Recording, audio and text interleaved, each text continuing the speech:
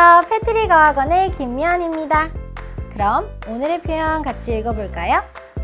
For the sake of For the sake of For the sake of What changes could you make to protect the environment?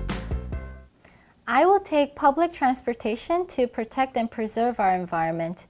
Global warming has become a very serious issue that we face today, and emission of carbon dioxide from cars is one of the main causes. By taking subways and buses, I can reduce emission and other air pollutants that are harmful to our environment. Besides, I can also reduce traffic jams in my city, therefore saving the extra fuel that is wasted on the road. Although there may be some inconveniences of taking public transportation, that is something I can endure for the sake of our planet and mankind's survival upon it.